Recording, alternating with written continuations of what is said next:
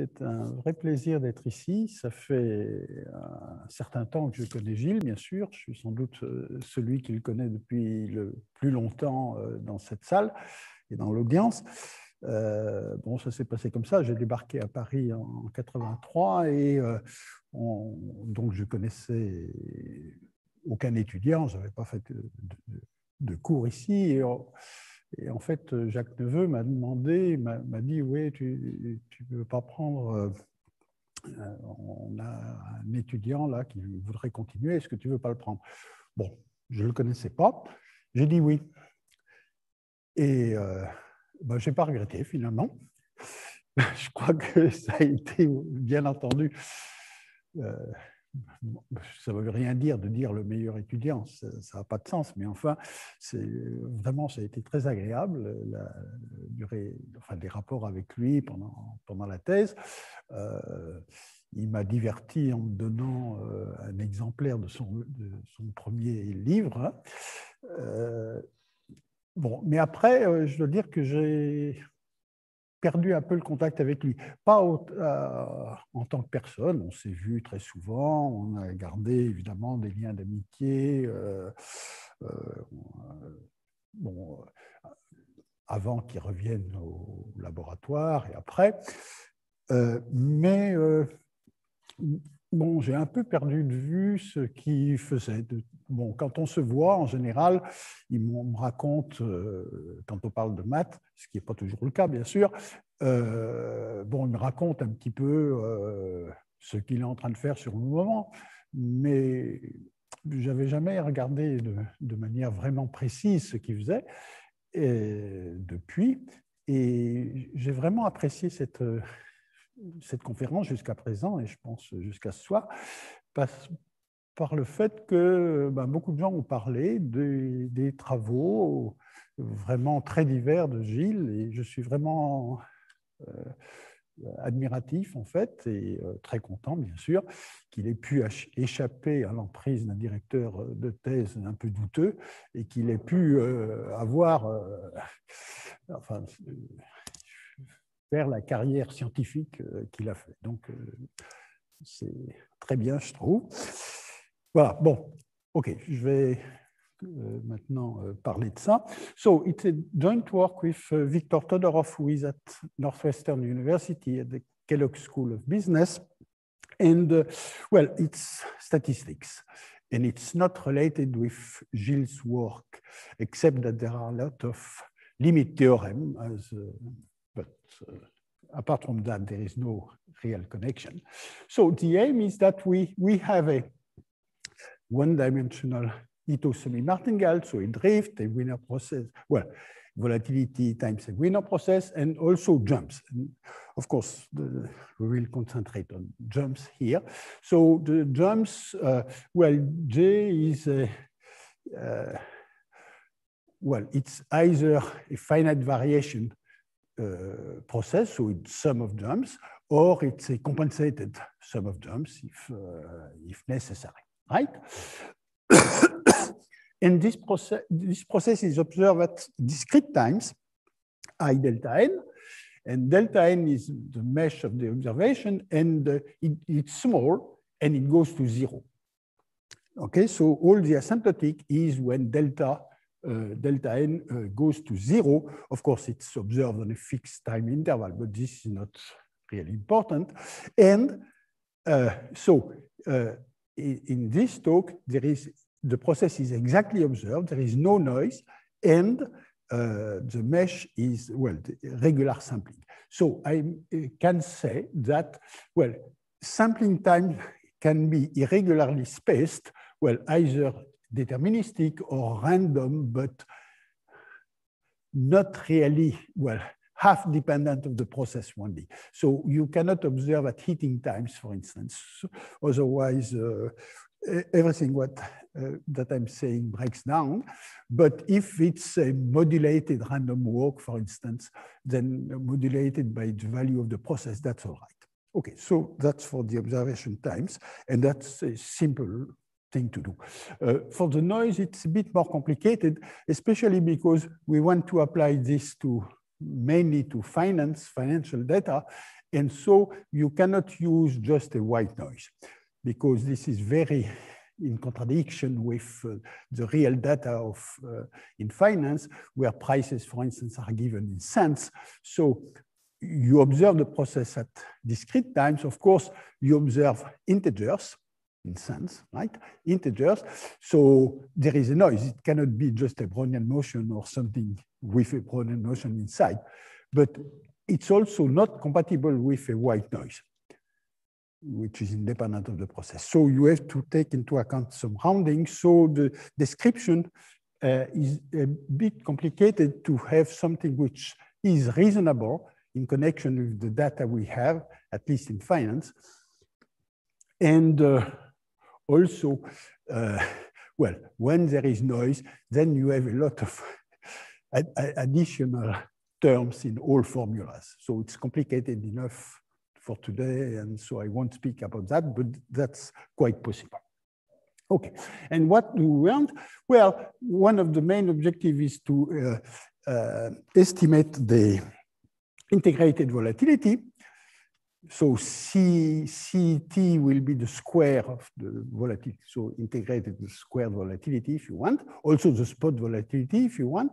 And since we have jumps, also as much as we can say about the characteristics of the jumps in some sense. And maybe also the drift when there is no Brownian motion, because of course, sigma could be just zero in this part, right? Okay, well, okay, so it's, so about jumps. So the, the jumps are, uh, uh, well, sorry, it, it should, should, should, be that. So first of all, there is something which is very important, which is the degree of activity of jumps. So if you look at the sum of the square jumps, so you see the delta x here is the size of jumps at some time. So you take the pth power and you sum uh, for overall jumps. Of course, this is convergent. Well, this is finite when p is 2 or bigger than 2. And uh, well, it may be infinite for small p, and uh, the infimum for which it's finite is called the index or Blumenthal-Getoor index. It's, uh, well, kind of Blumenthal-Getoor index because it's something which is random here, a priori, okay? And, but always uh, not bigger than two. And uh, for instance, if you have a stable process with index beta, then A is beta of course. And then you take the following estimator for the integrated volatility, the sum of square jumps, uh, squared increments, sorry. So, okay, if you forget about jumps, if there are no jumps, so you don't have the truncation here, and uh, you just uh, have the realized volatility, and that converges, of course, toward the volatility. If you have jumps, you, you can truncate, and you do have well, appropriately, depending on the, on the degree of activity of the process. And then you have a central limit theorem, which says that C hat n minus C converge at the rate square root of delta n uh, toward a, a, limiting process. And this limiting process is defined on an extension of the space and conditionally on the original filtration or original uh, sigma field, uh, then it's a Gaussian uh, centered martingale. And the variance, conditional variance process is the, twice the integral of c squared, which is called the quarticity. And this is optimal uh, in the sense that uh, the, the, you cannot have a bigger rate and you cannot have a smaller variance. So it's efficient in the case, if you have a diffusion, it has been proved that it's uh, efficient to have the LAMN property and this and that. Okay, and uh, this is stable convergence, so it's something slightly uh, stronger than uh, convergence in law, but uh, okay. All right, uh, but of course, what's important is the degree of activity should be smaller than one. Because otherwise, well, the, the thing just breaks down. It just doesn't. Uh, uh, okay. So, Uh, about jumps, so I need some assumption. Uh, that's quite unfortunate, but well. So the assumption is basically that the Levy measure, so the Levy measure of uh, uh, semi-martingale is like the Levy measure of a Levy process. So it describes the jumps. So it's a measure which is random and dependent on time, ft, but has the same property of a Levy measure, it integrates x squared near the origin, and it's uh, finite outside the neighborhood of the origin. And, uh, well, if you take dt times ft dx, so it's a measure on r plus times r, so this would be the compensator of the jump measure of, of, of the process. So that's all well known. And uh, of course, if you have a stable process, then if you have a stable process, the characteristic function is e to the minus t times some constant a times u to the uh, beta, absolute value of u to the beta, plus an imaginary part, which is due to the asymmetry of the process, if there is asymmetry, right?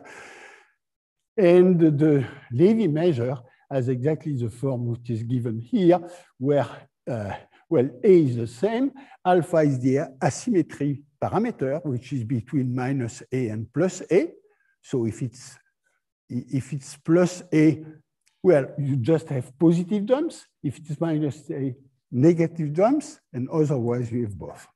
And uh, the process is symmetric if alpha is zero, of course. And the key of beta here is just a normalizing constant. We, it's an explicit and smooth function of beta over 0, 2, uh, so that the characteristic function is of this form. Okay, so just, I don't want to give it, it's complicated because to, to write explicitly. And so the assumptions we do is that the Levy measure FT is, in fact, a stable Levy measure plus a reminder term, f prime. And the stable Levy measure depends, uh, is associated to an index beta t, at, uh, parameter at and parameter alpha t, which may depend on t, may be random. In most of the literature about this topic, uh, it's usual that beta t is a constant. At and alpha t may be random, random, but beta t is a constant. And we really want here to get rid of this assumption. Okay? And the remainder term, well, it's still an arbitrary Levy measure, except that it integrates x to the RT uh, near the origin. And RT is something which is strictly smaller than beta, beta t over 2. So that's, uh, so in some sense, the small jumps, so this assumption is only about small jumps. It says nothing about big jumps, but only about small jumps. So no integrability, nothing like that. And the small jumps are dominated in a rather strong sense by this Levy, uh, these stable terms. Okay. Now, what you can do also is say that ft is the remainder f prime plus a sum, a finite sum of Levy of stable type uh, thing with the following thing. Beta 1 is the biggest one. Then you have beta 2, beta 3, smaller and smaller, uh, until something uh, and then you have RT. And why it stop at beta 1 over 2? Because you can, in fact, those indices are, uh, you, you, can estimate them as long as they are bigger than beta 1, the biggest one, over 2. And the other one, you cannot do uh, say anything about them from the observation of the process. Okay? But in this talk, I will suppose that there is only one beta. It's complicated enough like this. Okay. Okay, the other assumptions are rather standard. So sigma is also an Ito semi-martingale. It's useful for some things and useless for others, but uh, well, so I said that. BT is, uh, uh, well, all processes are CAD-lag. Uh, beta T, BT, AT, alpha T, and uh, beta, of course, is 0 to valued, but beta T minus also. And for A, well, it can take the value 0, but then it does so by jumping down to 0. And then it stays for a while at 0. And then it jumps uh, back to some positive value, and then it goes to 0, and then like this. Okay? It cannot reach 0 continuously. That's for some reason, technical reason, right? Okay, so in that case, well, what you can estimate is CT, beta T, AT, alpha T, and also BT the drift when CT is zero uh, around T. Of course, if uh, CT is positive, you cannot estimate the drift at all, but uh, otherwise you can. Okay? So, uh, well, I won't concentrate, well, I will basically assume that the process is symmetric. I won't uh, say anything about the estimation of BT and alpha T in, in this talk. All right, so estimation of spot volatility. What we use, it, may look strange, but what we use is the empirical characteristic function. So you take, suppose that you have just a just a Levy uh, Levy process. So JT is a stable process. So suppose, for instance, right? sigma is constant and B, BT should be B times T, not B, B sub T uh, there. Okay, and LR and LI are the empirical real part and imaginary part of the characteristic function of the increments the observed increments. Something relatively simple. And uh, then, of course, the, the, the, expectation of the summands is the UN, which is the main part of the characteristic function that you see here, one e to the minus one half of u squared c delta minus a u beta delta. Then there is an imaginary part in the real, in the characteristic function, but uh, uh, imaginary part is i to the vn, and so the expected value of the summands are un cosine and un sine of this. To take the sum of the squares, so eliminate, eliminate uh, the, the vn, just disappears. So it's a way of um, getting rid of uh, possible asymmetry. Okay? and uh, since the summands are IID in, in the Levy case, uh, well, you have a law of large number and also central limit theorem, of course, associated, which says that if you take, well, the, the ln is like the log of un squared, in fact. So it's like what I wrote here. Okay, so wh what you have is this thing down there, one over u, uh, u squared delta ln goes to c because the term u beta is smaller uh, than u squared if u goes to infinity, of course. And uh, right, and uh, uh, well, uh, sorry. So you, you have uh, this with a central limit theorem, uh, the rate given here. So now, if things depends on time, if everything depends on time, of course you cannot do that. Well, you can, but you don't know what will happen. So what you do rather is you you take a local sum. So you have this un, which will go to infinity, the argument of the empirical characteristic function. And then you have another sequence nu n of integers, which will go to infinity at the proper rate. And you take the sum of the real and imaginary part of those things, right? And the log minus the log of the sum of squared. And what you get when you, uh, under the condition there, so it means un is basically 1 over square root of delta n times something which goes to zero, but arbitrarily slowly. Okay?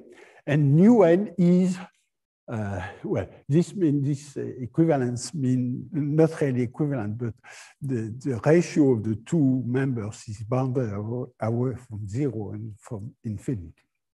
And you have the central limit theorem, which is there. so the limit now is a random variable, of course. It's still stable convergence in law, and the variance is uh, 2 times c squared taken at the stopping value s right? Okay. Uh, all right. So uh, you can write like this. And so you have an estimator, the zeta n over delta 1 force is square root of nu n.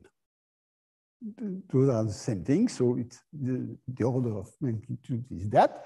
And well, you do have that if the, the bias which is up there, uh, is negligible in front of the, the rate, right? So it's true when beta, beta s is smaller than 3 halves, but not if it's bigger. Okay, and for the integrated volatility, well, you just take the sum of the previous local estimators. You need a debiasing term, even in the continuous case. Okay, but that's relatively simple. And you have the same kind of central limit theorem. Now the rate is really 1 over square root of delta n. And the limit z is exactly the same as the in the uh, continuous case. And uh, so uh, if the bias term is negligible here, then you again have the uh, efficient estimator. Okay, well, this bias term is negligible only when beta is beta s is always smaller than one, strictly smaller than one.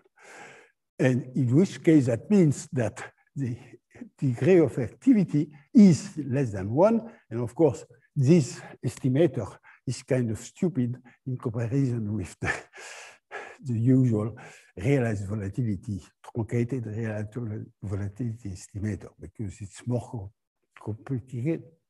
Sorry, more complicated. Uh, so, well, but what we we want. So let's forget about the last part. Uh, what we want now is to get rid of this bias.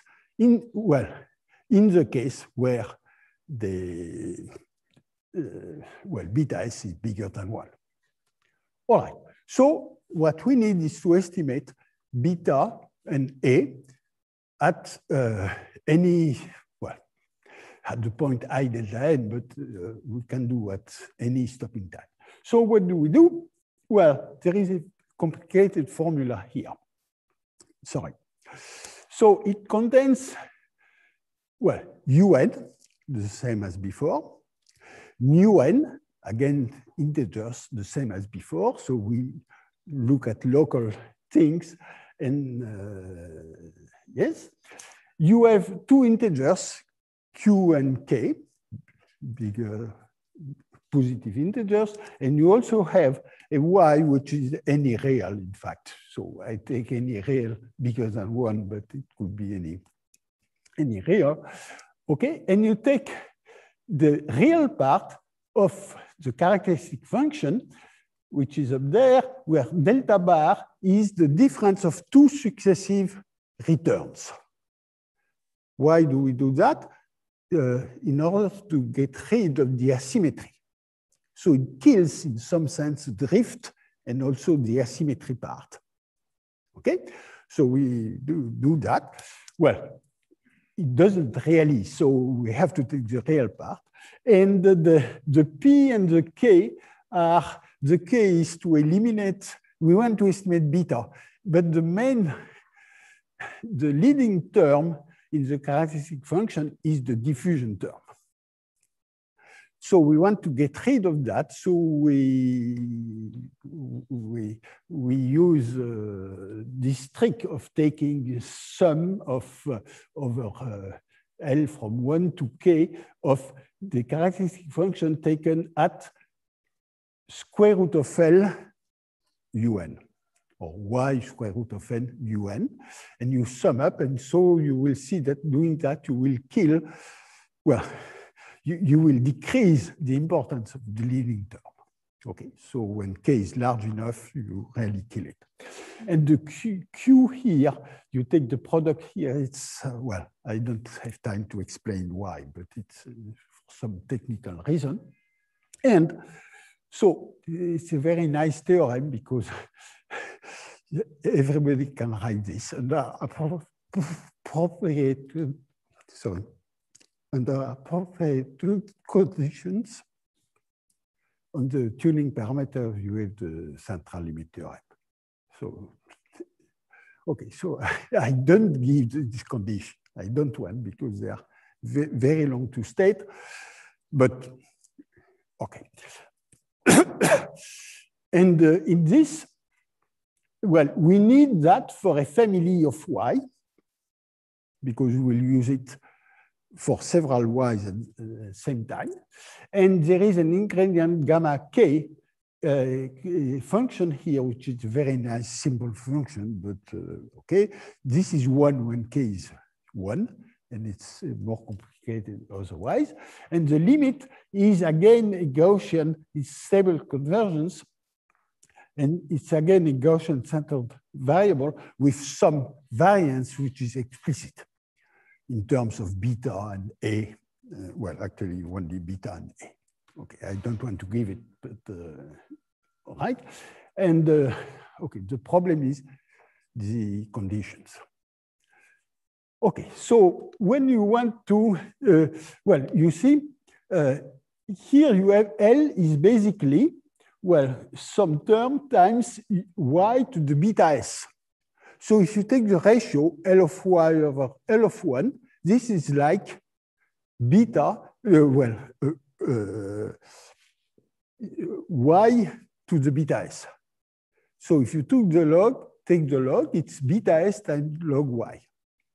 Okay, so it's not surprising that if you take this estimator log of L of y over L of 1 divided by log of y, this is well, an estimator for beta.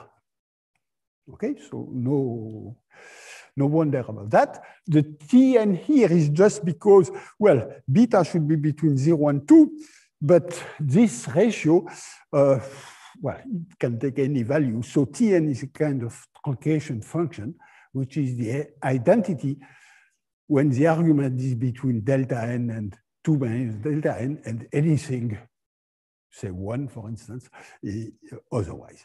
So it's a dummy value otherwise, right? And uh, the, the estimator for A is basically the same. So, uh, well, no, you take L of one and you uh, just, well, if you remember what we have here, you want A, but beta, you have the estimator now. The beta is basically now. So you divide by what you need and uh, this is the estimator. Okay, and you have a central limit theorem for, for this under the appropriate conditions. Okay, so in practice, these appropriate conditions are uh, rather, well, complicated because they, they do not work for, for the whole range of possible betas from zero to two. If you take, if you say that beta is an interval which is of size, well, control size, then you can take the, the tuning parameter so that it works for all beta within this uh, interval, but not otherwise. So what you do is you first split the interval into small pieces. You estimate, you make the estimation with parameters ensuring the central limit theorem within each of these intervals separately. And then you somehow choose in which one you are. So that gives you a preliminary kind of estimator. And then knowing that you are close to that particular value, you take the best possible tuning parameters and get uh, the final estimators. And the rate you get are uh, uh, the following. In general, the rate you get is, well, so you have delta n to the minus theta for some positive theta, beta hat minus beta, which converges stably. And the same for, for A with a logarithmic term in addition. Okay, so theta is, you can achieve this with any theta which is strictly smaller than beta over 4 in general. And if you have no Brownian motion, if you know that you have no Brownian motion, you can achieve with theta smaller than what's written here, one fourth minimum with this. Now, you have to remember that the best rate, if beta is constant, the best rate, eh, if you observe the big interval, the best possible rate is delta to the minus beta over 2. If you want to take local version of this, uh, that will be delta to the beta to minus beta over 4. So the best possible rate is probably delta to minus beta over 4. So you cannot achieve exactly it, but almost. Okay? And the same when you have no Brownian motion, the best rate is probably delta to minus one fourth. Okay? This is not uh, really well established, but uh, well, there, there are many reasons for what these things are the optimal rate, up, up to logarithmic terms, of course, because A and beta are not estimated with exactly the same rate. You estimate beta better than A, up to a logarithmic term. Okay, so I don't have too much time. Okay, I say something here also that they, at the end that, well, those things work if AS is positive. Of course, if AS is not, you see when I divide or do things like that, if A vanishes, the limit is zero and then you get nothing. Of course, you can say when A S is zero, beta S has no meaning at all. Well, it's irrelevant, in fact. All right. Uh, so before doing that, well, you should first try, uh, well, have a test which says that A is positive or not. So that's possible. I don't have time, but it's possible, relatively easy to construct tests based on characteristic function again uh, for testing this null uh, hypothesis. Okay, so now if you want to estimate the spot volatility, uh, in the case, uh, general case, then you have the, well, I recall up there the, the, the, tuning parameters, so they are fixed. And uh, remember that you have this second line here, this central limit theorem. So you plug in the A hat and the beta hat, which we have found, uh, well, constructed before. So it should be beta hat. Uh, in the formula, sorry. And then you have the, the conversion. So you have devised your thing. And that's exactly the same uh, for the uh, integrated uh, volatility. Okay, you first have to estimate beta and A at uh, all the points uh, which I call S of n i, uh, i nu n delta n, because I sum over, well, I will make uh, Riemann approximation of the integral, which is the bias, with the same, the, the same mesh as uh, in the definition of C hat. Okay, so I take this uh, beta hat and uh, the and uh, well, the formula down there includes the estimation of A uh, at the point S and I. So you take this. Uh, so, and you have again the same central limit theorem. So you have the optimality in that case uh, with no condition of the, uh, well, the, on the size of the Blumenthal-Getoor index, and this index can vary with time. Now, of course, I'm nearly finished. Well, there are many questions, which remains.